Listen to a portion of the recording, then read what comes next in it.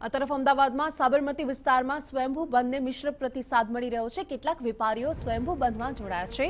લોકો કામ સિવાય બહાર નીકળવાનું ટાળી રહ્યા છે. તો રાજ્યભરમાં અનેક જિલ્લાઓમાં વીકેન્ડ લોકડાઉન સ્વયંભૂ રીતે પાડવામાં આવી રહ્યું છે. અમદાવાદની વાત કરી રહ્યા છે કે જ્યાં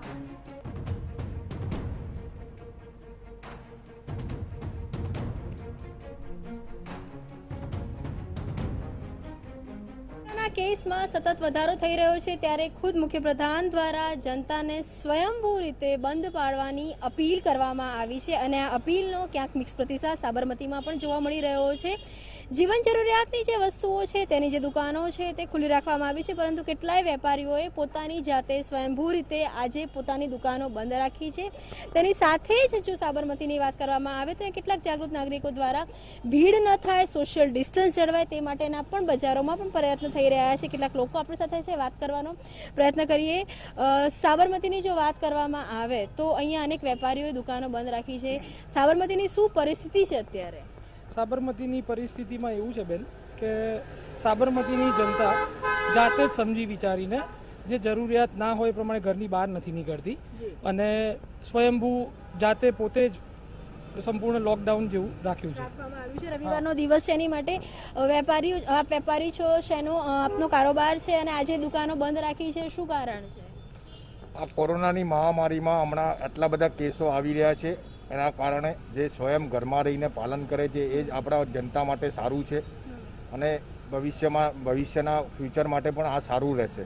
એટલે સ્વયં ઘરમાં કામ હોય તો જ નીકળે અને સ્વયં લોકડાઉનનું પાલન કરે. બિલકુલ સામાન્ય રીતે વેપારીઓ માટે રવિવારનો દિવસ બહુ મહત્વનો હોય છે. કેમ કે લોકો જે ફ્રી હોય છે ખરીદી કરવા રવિવારે જ આવતા હોય છે. એમ છતાં દુકાનો બંધ કરવાનો નિર્ણય લેવામાં આવ્યો છે. એની પાછળનું શું કારણ?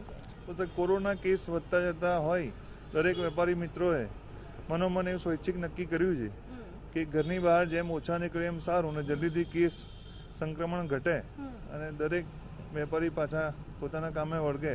એ કારણસર દરેકે સ્વૈચ્છિક બંધ પાડવાનો નિર્ણય કર્યો છે.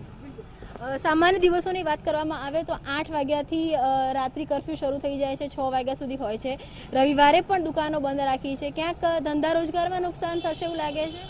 છે તે પાસાની બે બાજુ છે કે ધંધા રોજગારમાં જો નુકસાન થાય છે, સામે આપણને કોરોના સામે સલામતી બી મળી રહી છે. તો પબ્લિકે પોતે જાગૃત થવું જોઈએ હવે. અને હવે આપણે કોરોના સાથે જ લડવાનું છે, એ આપણે સંકલ્પ મગજમાં રાખીને ચાલવું જોઈએ. આપણે સુરક્ષિત આપણો પરિવાર સુરક્ષિત અને આપણો સમાજ સુરક્ષિત. જો કોરોનાની સાંકળ જો આપણે સાચવવી હોય એની સાંકળને તોડવી હોય તો આપણે આ સાંકળ લઈને ચાલવું જોઈએ કે આપણે સુરક્ષિત રહીશું આપણે ઘરમાં રહીશું બને એટલું સોશિયલ ડિસ્ટન્સિંગનું પાલન કરશું તો એનાથી કોરોનાની સાંકળ બી તૂટશે અને આપણો સમાજ બી સુરક્ષિત રહેશે. આ રવિવારે તો વ્યાપાર રોજગાર બંધ રાખ્યા છે. આગામી દિવસોમાં આપ લોકોના શું પ્લાનિંગ છે ગવર્મેન્ટ જે પ્રમાણે કહેશે એ પ્રમાણે આપણે તૈયાર છીએ. અને અમારા ઘરની સલામતી માટે એ લોકો જે કરી રહ્યા છે એ બધું સારું જ કરી રહ્યા છે અને દેશ માટે પણ સારું જ કરી રહ્યા છે. સામાન્ય રીતે ધંધા રોજગાર બંધ રાખવામાં આવે તો સીધો એક જે ફટકો હોય છે એ પડતો હોય છે બિઝનેસને. આજે નિર્ણય લેવામાં આવ્યો છે એનાથી શું લાગી રહ્યું છે? આગામી દિવસોમાં શું ફાયદો થશે? નિર્ણય જે લેવામાં આવ્યો છે સરકાર દ્વારા એ બહુ પરફેક્ટ નિર્ણય છે બેન. એનું કારણ છે કે આપણે સુરક્ષિત હોઈશું તો બધું છે. આપણે સુરક્ષિત નથી તો કશું જ નથી. એટલે સરકારના નિર્ણયને હું આવકારું છું અને સાબરમતીની જનતાને અપીલ કરું છું કે જરૂર વગર ઘરની બહાર ના નીકળે અને બહાર નીકળે તો માસ્ક સાથે નીકળે સોશિયલ ડિસ્ટન્સિંગનું પાલન કરે અને કરાવે. આપનું શું મંતવ્ય છે?